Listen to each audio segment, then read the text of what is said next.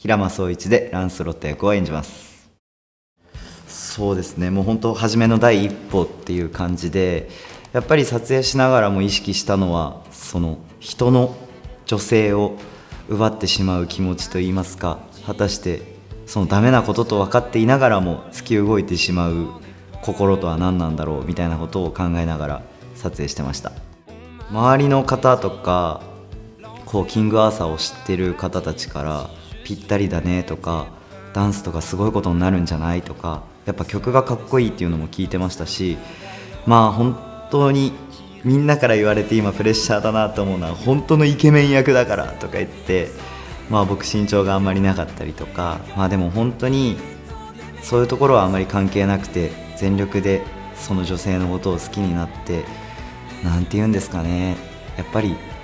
ルールとかそういうのに縛られないのがね心っていうものだと思うのでそこで熱く熱く演じられたらなと思いました。あの浦井さんとはゴーストで一緒にやらせてもらったのが初めてで本当にいいお兄さんというかあの僕がゴーストで悩んでる時があったんですね。でその時に演出家の思いとか振付師のその描いている役柄とはちょっと違ったっていうのででも自分はこう演じたいってあった時に浦井君が「いやお前の芝居はいいよ」って言ってそのまま俺もやってほしいって言ってくれたりとかなんか今回キングアーサーでまた自分にとってもチャレンジの役ですしこうなんかお兄さん的存在がいて助かると言いますか安心感というか本当頼れる先輩だなっていう感じでまずそこが安心したのと本当にいろんな方々とお名前は知ってるし拝見もしましたしいつか共演したいって思ってた方々がたくさんいるので楽しみです。言葉の壁とかいろいろあるとは思うんですけどやっぱり同じ人間でこう目を見て話していれば伝わるものは絶対あるんじゃないかなっていう。でさらに何て言うんですかね。韓国もそうですし日本もそうですしでもやる演目っていうのはまた別の場所でなんか全然こう違う文化が入り混じった、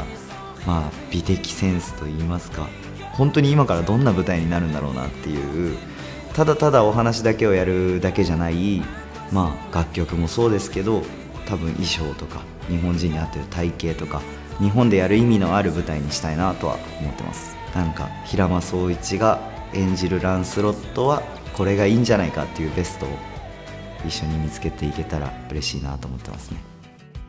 自分の心の思うままに動くっていうのはなかなか難しいものだなと思いながらあの